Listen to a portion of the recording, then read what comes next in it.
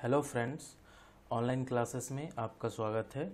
आज के इस वीडियो में हम ट्रांसफार्मर के क्वेश्चन को कंटिन्यू करेंगे। आप इस वीडियो को एंड तक देखिएगा, आपके लिए बहुत ही फ़ायदेमंद होगा।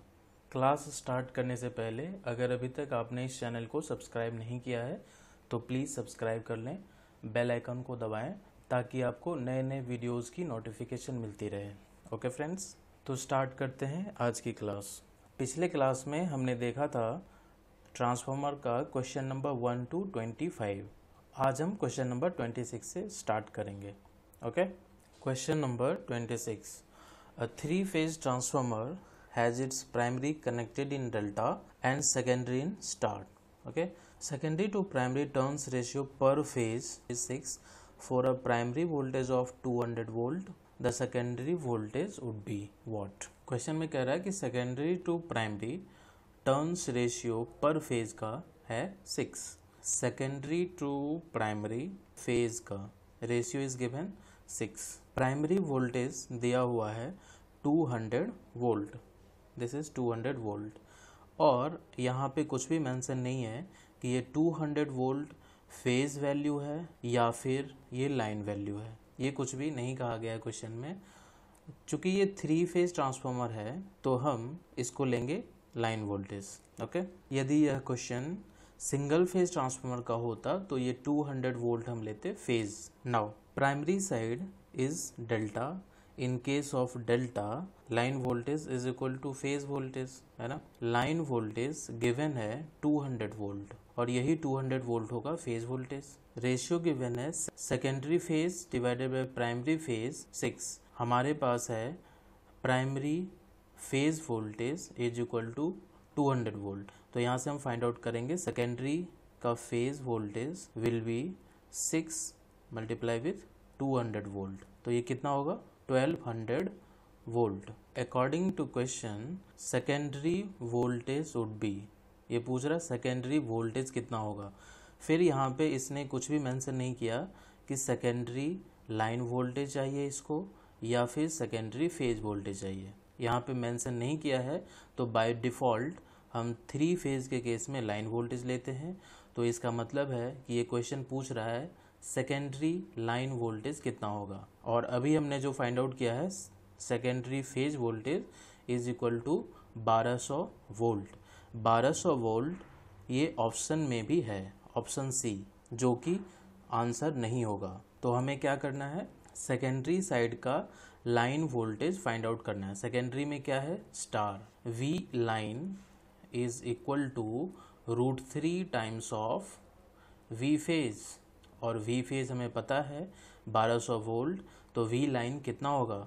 Root three times of 1200 volt इसको जब आप कैलकुलेट करोगे तो आंसर आएगा 2078 वोल्ट, यानी कि option A is correct next question देखते हैं question number twenty seven the iron loss in a hundred K V transformer is one kilo watt and the full load copper loss कितना है? Two kilo watt तो पूछ रहा है the maximum efficiency occurs at a load of watt okay iron loss is one kilo watt and full load copper loss is two kilo watt rating of transformer यानी कि full load K V A rating is hundred K V A hundred K V A given है। तो हमें find out करना है कि किस load पर हमें मैक्सिमम एफिशिएंसी मिलेगा।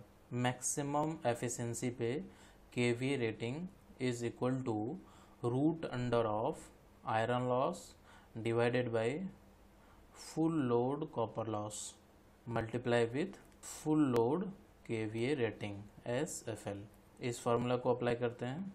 This will equal to root under iron loss one kilo watt full load copper loss two kilo watt full load K V A rating is hundred K V A this is equal to seventy point seven K V A option B is correct next question लिखते हैं। Question number twenty eight the iron loss per unit frequency in a ferromagnetic core when plotted against frequency इसको draw करना है against frequency तो option A option B option C and option D देखते हैं कि किस तरफ़ का ग्राफ हमें मिलेगा। Iron loss equal to hysteresis loss and eddy current loss hysteresis loss कितना होता है? अगर B M magnetic flux density अगर कांस्टेंट हो तो वैसे वाले केस में हिस्टेसिस लॉस को लिखते हैं एक कांस्टेंट ए इंटू एफ़ ये एडी करंट लॉस को लिखते हैं, एक another constant B and F square ठीक है? तो आयरन लॉस हो गया A F plus B F square यहाँ पे कह रहा है कि iron loss per unit frequency iron loss per unit frequency क्या होगा? A F plus B F square divided by F यानी कि A plus B F now graph plot करना है। One A plus B F versus F frequency के against इसको plot करना है ना तो वर्सेस एफ़ देखते हैं इस इक्वेशन को। यह है ए प्लस बी एफ़ जहाँ पे ए और बी ये दोनों कांस्टेंट हैं और ये दोनों पॉजिटिव भी होते हैं। बोथ आर पॉजिटिव कांस्टेंट ठीक है? और ये equation A plus B F ये इक्वेशन शो करता है स्ट्रेट लाइन एक स्ट्रेट लाइन का इक्वेशन है। स्ट्रेट लाइन का इक्वेशन एक होता है ना। Y is equal to M X plus C M is slope similarly इसमें b इज़ स्लोप ये जो b है, b is slope and a is y axis पे intercept okay this is y axis and this one is x axis है ना? y axis में यहाँ पे क्या है? जो हमें ग्राफ ड्रॉ करने दिया गया है, वो है iron loss per unit frequency यानी कि इसको हम ऐसे लिख सकते हैं कि P I divided by F ये होगा वाई एक्सिस पे एंड प्लॉट अगेंस्ट फ्रीक्वेंसी यानी कि एक्स एक्सिस पे होगा एफ़ तो वाई एक्सिस पे, यानी कि P I divided by F axis पे जो इंटरसेप्ट होगा, वो होगा A and B is slope ठीक है? देखते हैं option option A is straight line with positive slope straight line with negative slope parabola तो होगा ही नहीं कांस्टेंट ग्राफ होगा ही नहीं. Straight line with negative slope होगा ही नहीं. तो क्या है? Straight line with positive slope option A is correct next question question number twenty nine in a single phase transformer the copper loss at full load is six hundred watt at half of the full load the copper loss will be watt P C U full load given है six hundred watt और पूछ रहा है copper loss P C U half load पे। तो directly आप इसको ऐसे भी लिख सकते हो six hundred divided by four यानी कि one fifty watt one fifty watt इस तरह का क्वेश्चन हमने पहले भी देखा है, इसलिए मैं यहाँ पे डायरेक्ट ही फोर से डिवाइड कर दिया। Option A is correct next question question number thirty in auto transformer the number of turns in primary winding is two hundred ten and in secondary winding is 140 यहाँ पे दिया हुआ है N one N one is 210 and N two is 140 यानी कि यहाँ पे जो टर्न्स रेशियो है N one upon N two N one upon N two is equal to two hundred ten by one forty यानी कि थ्री बाई टू ठीक है? This will be equal to v1 upon v2 v1 upon v2 के बराबर होता है and this is also equal to i2 upon i1 तो यहाँ से ये पॉइंट नोट कर लेते हैं i2 upon i1 is equal to three by two ये आगे काम आएगा, ठीक है? नेक्स्ट देखो if the input current is 60 ampere, the current in output and common winding are respectively दो पार्ट है क्वेश्चन का। पहले गिवन है कि इनपुट करंट है 60 ampere input current 60 ampere means I one is equal to sixty I one is equal to sixty ampere तो पूछ रहा है कि I two is equal to what है ना? Current in output output current यानी कि I two I two is equal to हो जाएगा three upon two into sixty this is two upon sixty यानी कि ninety ampere ninety ampere question का first part तो हो गया. Current in output winding 90 ampere this is 90 ampere option D and option C दूसरा part देखते हैं कि करंट इन कॉमन वाइंडिंग ये है हमारा ऑटो ट्रांसफार्मर जिसमें प्राइमरी साइड 210 टर्न्स और सेकेंडरी साइड 140 टर्न्स यहाँ पे रिमेनिंग 70 टर्न्स बच गए, है ना? ये दोनों एडिटिव कनेक्शन में हैं और एडिटिव होने के कारण एडिटिव पोलरिटी होने के कारण हमने फ़र्स्ट डॉट यहाँ पे डाला है। ये आउटपुट साइड वाली वाइंडिंग का डॉट है। और दूसरा डॉट जो इनपुट साइड यानी प्राइमरी का जो डॉट है, वो यहाँ है। ये डॉट यहाँ पे है प्राइमरी का डॉट यहाँ पे है। It indicates that additive polarity और according to Lenz law primary winding के डॉट में अगर जो करंट एंटर करता है तो सेकेंडरी वाइंडिंग के डॉट से करंट लीव करेगा करंट बाहर जाएगा। तो हमने यहाँ पे शो कर दिया आई टू आई टू का डायरेक्शन ये होगा एंड आई वन इस डॉट में प्राइमरी वाइंडिंग के डॉट में आई वन एंटर करेगा। दोनों करंट की वैल्यू हमें पता है I one is sixty ampere और आई टू हमने अभी फाइंड आउट किया था I two is ninety ampere देखते हैं I one this I one is sixty ampere and this I two is ninety ampere है ना? ये जो आई टू है, ये इधर से होते हुए ऐसे जाएगा। This is I two ninety ampere. Voltage की पोलरिटी भी मार्क करते हैं। यह positive, negative, plus and this one is minus ये आई वन जो प्राइमरी वाइंडिंग का करंट है I one sixty ampere.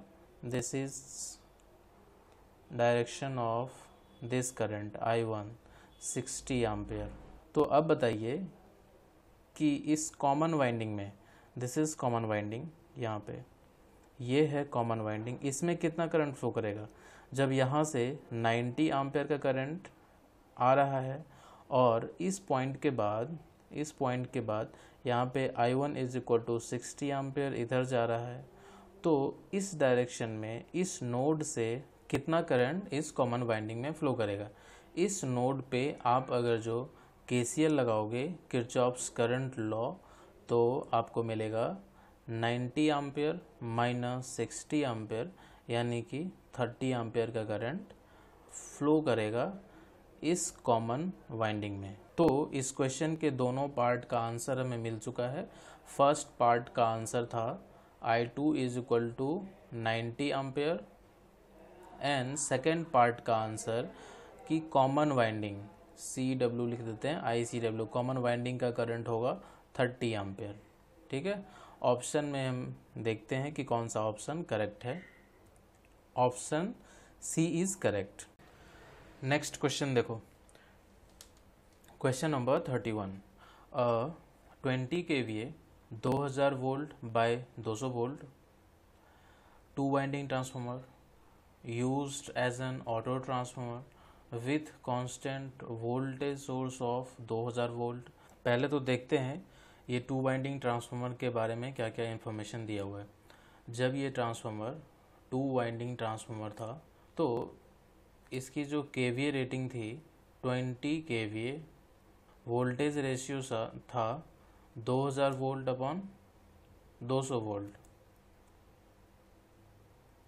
यानी कि यहाँ से आ जाएगा turns ratio of two winding transformer turns ratio of two winding transformer is 2000 upon 200 यानी कि 10 अब क्वेश्चन में कह रहा है कि इस टू वाइंडिंग ट्रांसफार्मर को हमने रिकनेक्ट किया एज एन ऑटो ट्रांसफार्मर हम इसको as a auto transformer use कर रहे हैं with voltage source of 2000 volt यानी कि उस ऑटो ट्रांसफार्मर में जो हम इनपुट दे रहे हैं, वो कितना वोल्ट है? 2000 वोल्ट क्योंकि कह दिया ना वोल्टेज सोर्स ऑफ़ 2000 वोल्ट तो इनपुट वोल्टेज यानी कि V1 जो हम लेंगे इनपुट साइड प्राइमरी साइड वो होगा 2000 वोल्ट अब हमारे पास दो पॉसिबिलिटीज़ हैं.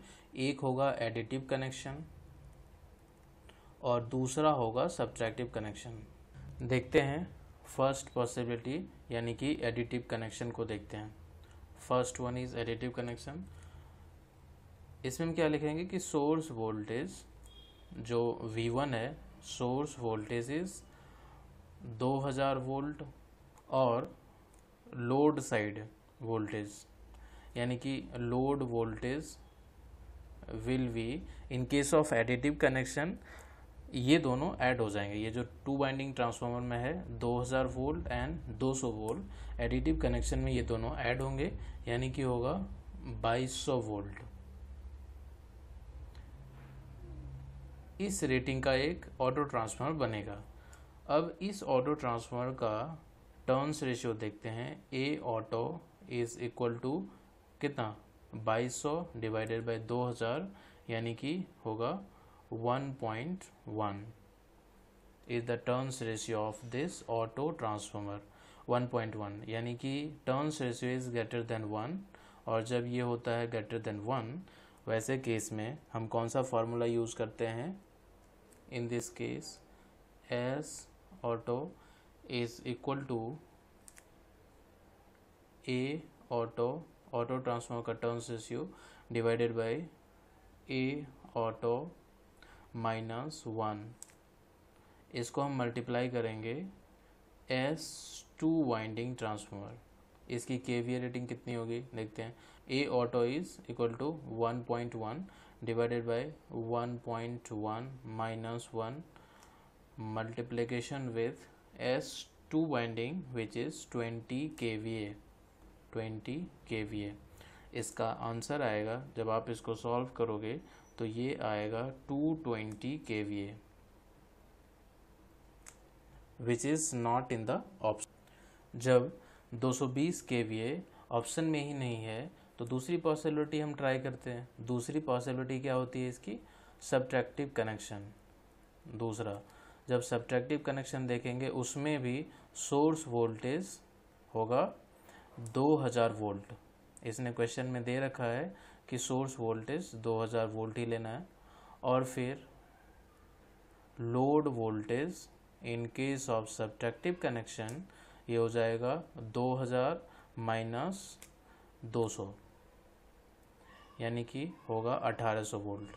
यहाँ से हम फाइंड आउट करेंगे कि इस टाइप के सब्ट्रैक्टिव कनेक्शन वाले ऑटो ट्रांसफार्मर का टर्न्स रेशियो यानी कि ए ऑटो कितना होगा? ए ऑटो हो जाएगा 2000 divided by 1800 okay this will be 1.11111 and so on तो फाइंड आउट करते हैं इसका एस ऑटो यानी इसकी के वी रेटिंग कितनी होगी?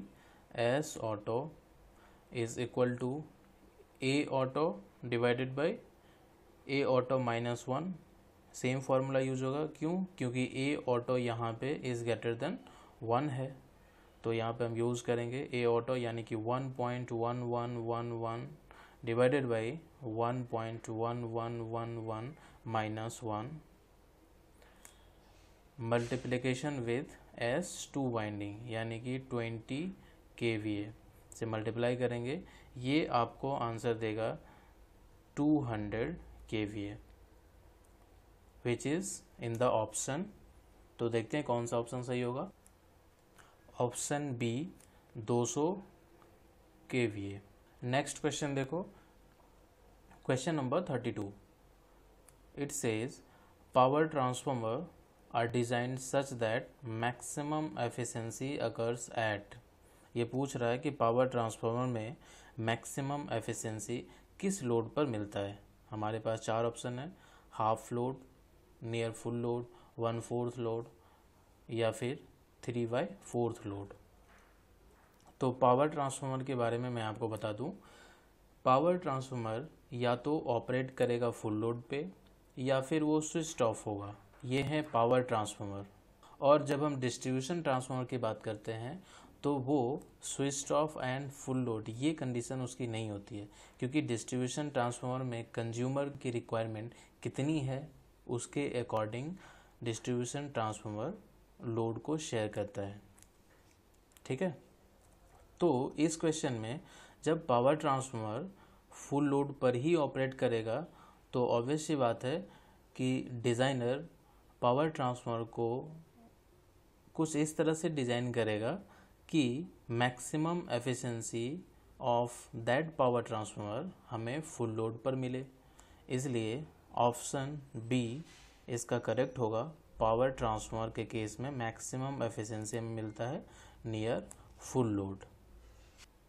Next question देखिए, क्वेश्चन नंबर थर्टी थ्री। ये कहता है कि two K V transformer has iron loss of 150 watt P I iron loss is 150 watt, ठीक है? And full load copper loss is 250 watt. Full load पे कॉपर लॉस होगा, P C U F L. Full load copper loss कितना है? 250 watt 250 watt. The maximum efficiency question पूछता है the maximum efficiency of transformer will occur when the total loss is इसका कहने का मतलब ये पूछ रहा है कि जब ट्रांसफॉर्मर मैक्सिमम एफिशिएंसी पे ऑपरेट कर रहा होगा, वैसे वाले केस में टोटल लॉस कितना होगा इस ट्रांसफॉर्मर का? तो जानते हैं हम कि at maximum efficiency iron loss और कॉपर लॉस दोनों बराबर होते हैं। यानी कि ट्रांसफॉर्मर का जो कॉपर लॉस होगा will be equal to iron loss. ठीक है? आयरन लॉस तो फिक्स लॉस है, ये तो कांस्टेंट है। यानी कि ट्रांसफॉर्मर किसी भी लोड पे ऑपरेट करे, आयरन लॉस इस ट्रांसफार्मर का 150 वॉट ही होगा।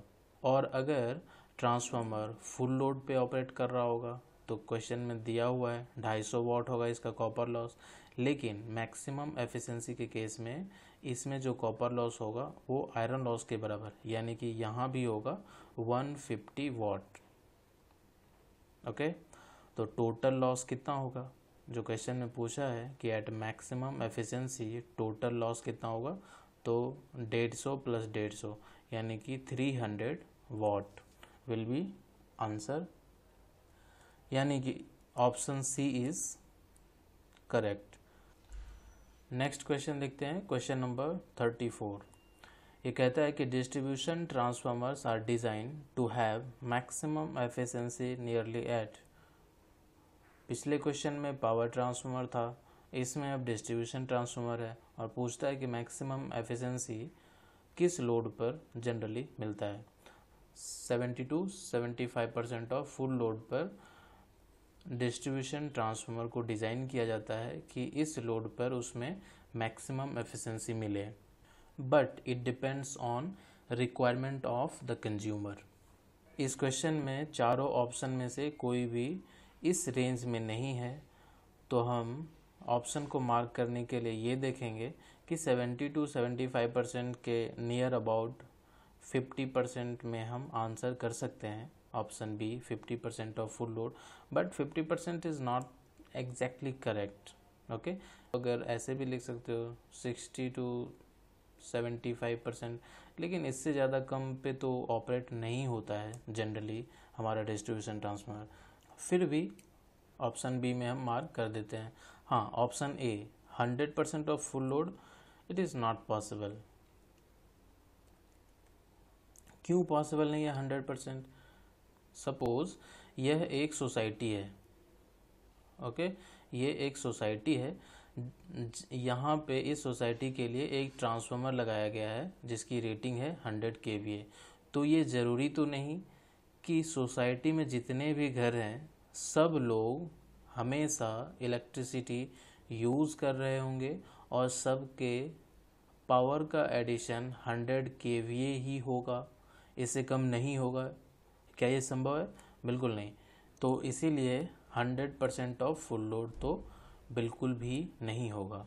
नेक्स्ट क्वेश्चन देखते हैं। Question number 35 in case of a power transformer, the no load current in terms of rated current is, no load current, I naught, ये बहुत ही कम होता है, and near about five percent के आसपास ही होता है। ऑप्शन में दिया हुआ है टू टू सिक्स परसेंट तो हम इसे मार्क करेंगे। नेक्स्ट क्वेश्चन देखो अब। Question number thirty six if copper loss of a transformer at 7 by 8th of full load is 4900 watt. 4900 watt इसका कॉपर लॉस है तो पूछ रहा है कि फुल लोड पर कॉपर लॉस कितना होगा? सेवन बाई एट्थ लोड पे करंट कितना फो होगा I will be seven by eighth time of times of full load current ये हो, इस लोड पर ये होगा करंट और इस करंट पे हम फाइंड आउट कर लेते हैं कॉपर लॉस कितना होगा।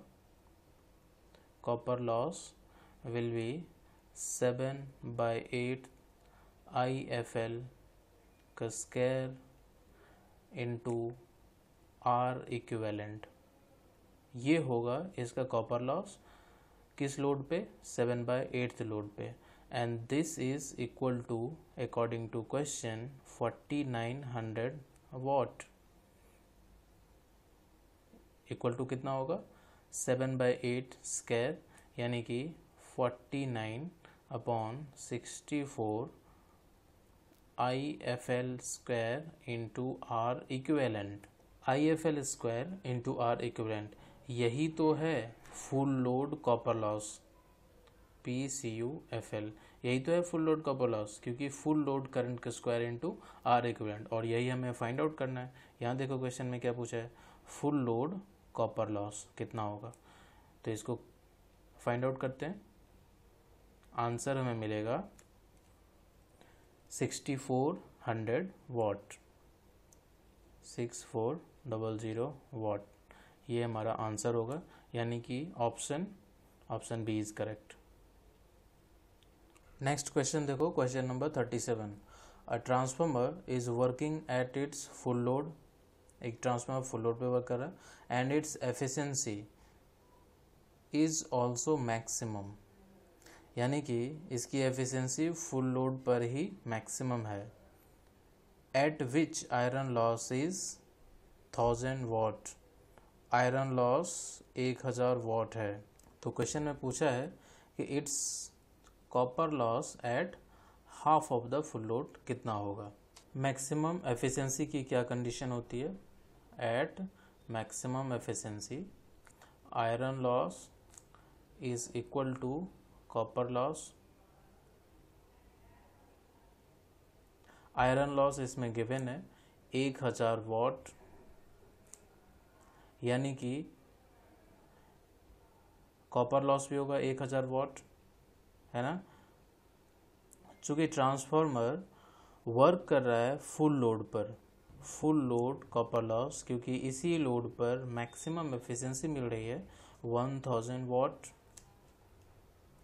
तो क्वेश्चन में पूछ रहा है कि half of the full load पर कॉपर लॉस कितना होगा? One by two square into full load copper loss thousand divided by four, that means 250 watt. 250 watt, कौन सा ऑप्शन सही है? Option A is correct next question देखते हैं। Question number 38 the purpose of the conservator in a transformer is option read करो। Option A to cool the winding no to prevent moisture in the transformer no to prevent short circuit of primary and secondary winding, no, last one is to take up contraction and expansion of oil.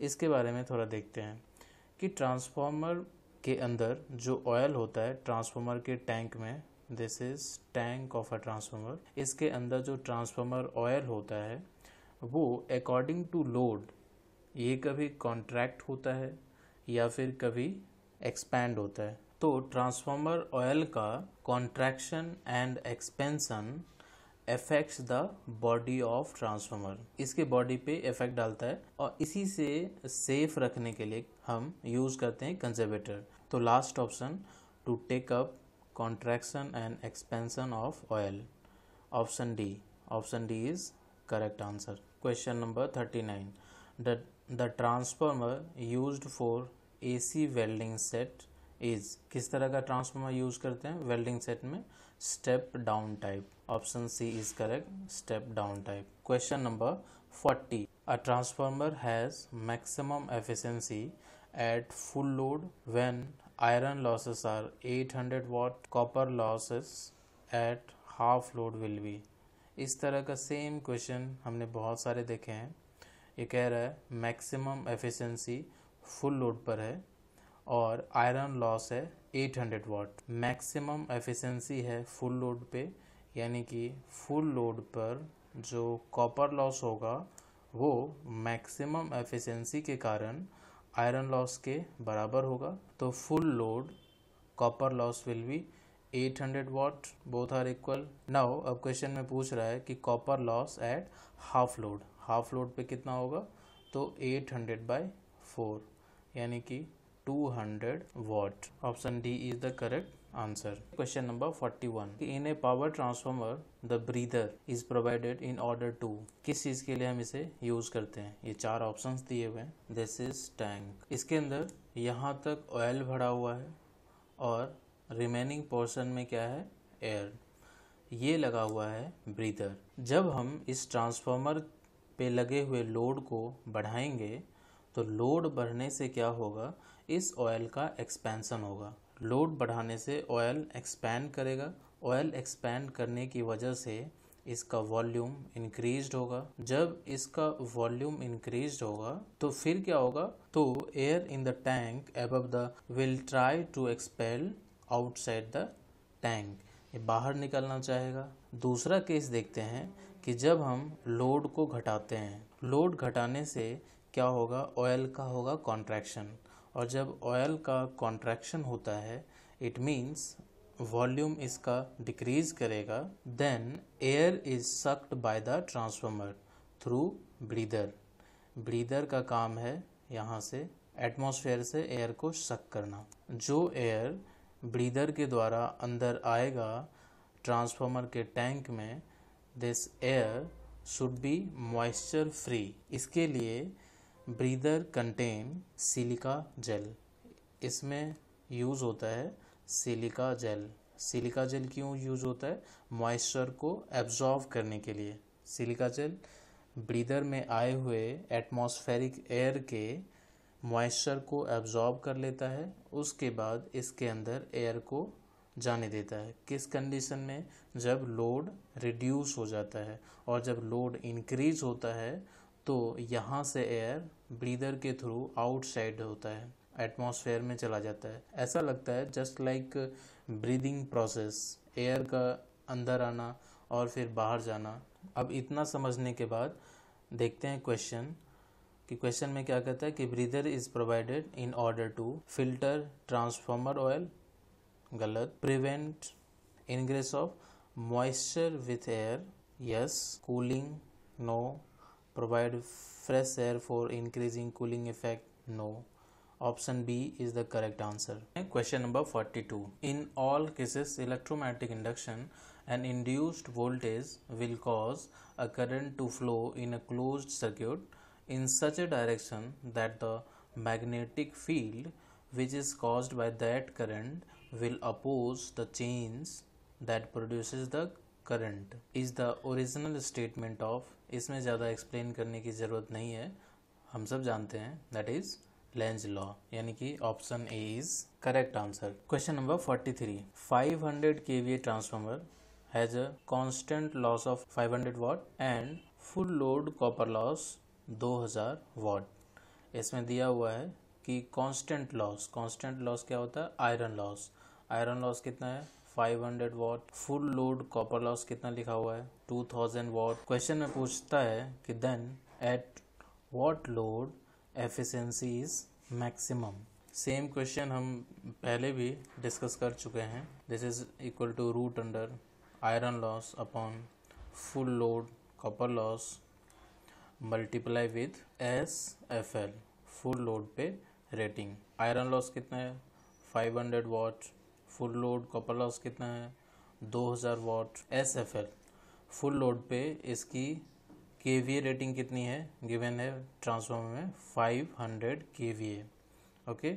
इसको जब आप calculate करोगे तो आपको मिलेगा 250 K V A two fifty K V is the correct answer, यानी कि option A next question देखिए. Question number 44 all day efficiency of a transformer depends on all day efficiency का एक और नाम है. दैट इज़ एनर्जी एफिशिएंसी जैसा कि हमें पता है एनर्जी क्या होता है? Energy is power into time energy is power into time power indicates connected load कितने रेटिंग का लोड यानी कितने पावर का लोड कितना टाइम के लिए ट्रांसफार्मर से कनेक्टेड है यहाँ से हम कैलकुलेट करते हैं एनर्जी एफिशिएंसी यानी कि इसमें हमें पावर भी चाहिए लोड का पावर और कितने टाइम तक वो कनेक्टेड है, वो भी चाहिए। तो यहाँ से हम निकालते हैं एनर्जी एफिशिएंसी यानी कि ऑल डे एफिशिएंसी तो हमें किस किस चीज़ की ज़रूरत है? Both amount of load and duration of load हमें पावर की भी ज़रूरत है और टाइम की भी ज़रूरत है। Option D is correct question number forty five what is load at which maximum efficiency occurs in case of 100 kVA transformer with iron loss of 1 kilowatt and full load copper loss of 2 kilowatt इसमें information क्या क्या दिया हुआ है सबसे पहले इसकी rating है ट्रांसफार्मर की full load rating full load के कितना है हंड्रेड के आयरन लॉस दिया हुआ है one kilo watt copper loss दिया हुआ है कौन सा copper loss full load copper loss is two kilo watt और क्वेश्चन में पूछ रहा है कि at what load maximum efficiency occurs इस तरह का सेम क्वेश्चन हम बहुत बार कर चुके हैं। तो उस रेटिंग को फाइंड आउट करने के लिए जिस पे हमें मैक्सिमम एफिशिएंसी मिले is equal to root under of iron loss divided by full load पे copper loss multiply with S F L full load पे K V A rating this will be equal to root under of one kilo watt iron loss divided by two kilo watt full load copper loss multiply with one hundred K V A this will be equal to seventy point seven K V A option B is correct question number forty six देखिए कहता है the old efficiency of a distribution transformer will be high with low watt okay distribution transformer है ये। इसमें अगर हम efficiency को high रखते हैं तो इसके लिए हमें लॉसेस को कम रखना पड़ेगा। लॉसेस शुड बी लेस एक होता है कॉपर लॉस और दूसरा होगा आयरन लॉस कॉपर लॉस ये डिपेंड करता है लोड पर। डिपेंड्स ऑन लोड अगर हम कॉपर लॉस को कम करना चाहेंगे तो हमें ट्रांसफार्मर से कनेक्टेड लोड को भी कम करना पड़ेगा, जो कि एक कंज्यूमर के डिमांड्स पे डिपेंड करता है। कंज्यूमर के रिक्वायरमेंट पे डिपेंड करता है। तो हम उसके लोड को तो कम नहीं कर सकते, इसलिए कॉपर लॉस कम नहीं हो सकता। जिस तरह का लोड कंज्यूमर ट्रांसफार्मर से कनेक्ट करेगा, उसके अकॉर्डिंग उसमें कॉपर लॉस तो होंगे ही होंगे, उसको उसको हम लोग कम नहीं कर सकते। और दूसरी बात कि अगर कॉपर लॉस को कम करते भी हैं, उसके लिए लोड कम होगा, यानी कि वहाँ पर एफिशिएंसी भी थोड़ी कम हो जाएगी। ठीक है? लेकिन क्वेश्चन में कहा कि एफिशिएंसी को ज़्यादा रखना है हाई रखना है, इसके लिए क्या करना है? तो दूसरा लॉस जो होता है आयरन लॉस आयरन लॉस को हम कम कर सकते हैं, क्योंकि आयरन लॉस इंडिपेंडेंट होता है लोड से। तो दिस इज़ कांस्टेंट लॉस तो at the time of designing इसको हम मिनिमम लेवल पे रख सकते हैं और यही हेल्पफुल होगा एफिशिएंसी को बढ़ाने में। तो हम ऑप्शंस की ओर देखते हैं, कौन कौन सा ऑप्शन है। ऑप्शन ए कहता है कॉपर लॉस ऑप्शन बी कहता है iron loss yes option C कहता है operating temperature copper as well as iron loss no तो option B is answer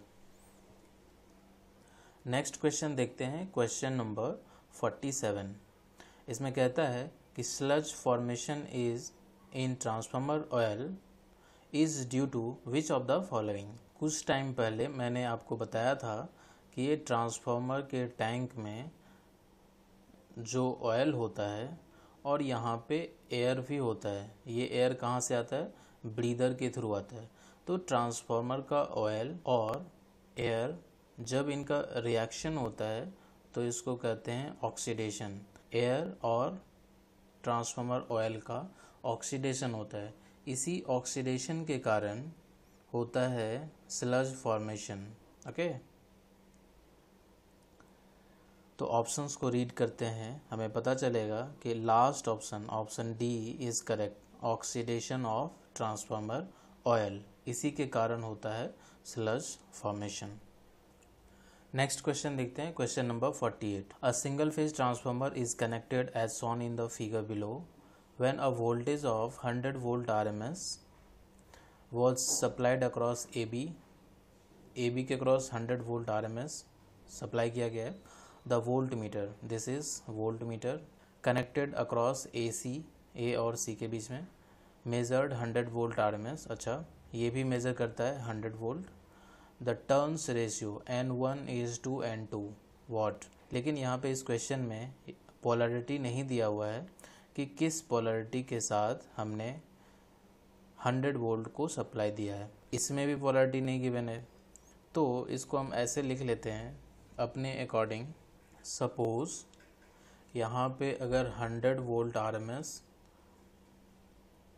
supply किया गया है और ये वोल्ट मीटर ये भी मेज़र कर रहा है हंड्रेड वोल्ट इन दोनों के अक्रॉस तो यहाँ पर हो सकता है कि 200 वोल्ट हो। तभी तो ये दोनों का डिफरेंस मेज़र करेगा। यहाँ पे जो वोल्ट मीटर लगा होगा, ये इस साइड और इस साइड के वोल्टेज का डिफरेंस मेज़र करेगा और दैट इज़ 100 वोल्ट तो यहाँ पे N one and this one is N two turn से पूछा है N one is to N two N one is to N two is equal to V one upon V two V one कितना है? Hundred volt जो कि given है। And according to situation हमने देखा कि V two should be equal to two hundred volt तो कितना होगा turns ratio one is to two one is to two is the correct answer कौन सा ऑप्शन सही है? Option A is correct I think option A is correct next question देखते हैं. Question number forty nine the advantage of putting tappings at the phase end of a transformer इसका क्या advantage है? यहाँ जो हम टैपिंग डालते हैं this is only to vary the output voltage यहाँ पे हम टैपिंग डालते हैं अपनी रिक्वायरमेंट के अनुसार कि हमें कितना वोल्टेज चाहिए.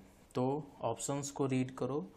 Option A is to obtain fine variation of voltage yes voltage को वेरी कराने के लिए ही यूज़ करते हैं। तो option A is correct next question देखते हैं और ये इस वीडियो का लास्ट क्वेश्चन होगा। While conducting short circuit test on a transformer the following side is short circuited ये पूछ रहा है कि जब हम शॉर्ट सर्क्यूट टेस्ट करते हैं एक ट्रांसफार्मर में तो उसका कौन सा साइड हम शॉर्ट सर्क्यूट करते हैं? यानी कि जो ट्रांसफार्मर है, का एच वी साइड हम शॉर्ट सर्क्यूट करते हैं या L V side during short circuit test short circuit test instrument हम लगाते हैं H V side volt meter ammeter H V side लगाते हैं। और इसमें हम जो शॉर्ट सर्क्यूट करते हैं, वो एल वी साइड करते हैं। Low voltage side by using thick wire कौन सा ऑप्शन करेक्ट होगा? Option B L V side option B is correct यदि पूछा होता ओपन सर्क्यूट टेस्ट के बारे में तो मैं आपको ये भी बता दूँ ओपन सर्क्यूट टेस्ट में हम क्या करते हैं? इसमें इंस्ट्रूमेंट लगाते हैं एलवी साइड और एच वी साइड हम ओपन करते हैं। ठीक है? ये ओपन सर्क्यूट टेस्ट का हो गया। And this one is short circuit test okay friends तो आज के वीडियो में हमने देखा question number twenty six to question number fifty किस चैप्टर का? ट्रांसफार्मर का।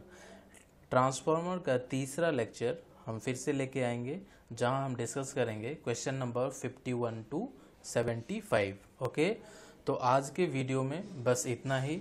यदि आपको यह वीडियो अच्छा लगे तो आप लाइक करिए शेयर करिए। यदि ये वीडियो आपको अच्छा ना लगे तो हमें कमेंट में ज़रूर बताएँ कि इसमें किस तरह की कमी रह गई, ताकि मैं आगे आने वाले लेक्चर्स में आपके सजेशन को ध्यान में रखूँ और आपके लिए अच्छा कंटेंट प्रोवाइड कर सकूँ।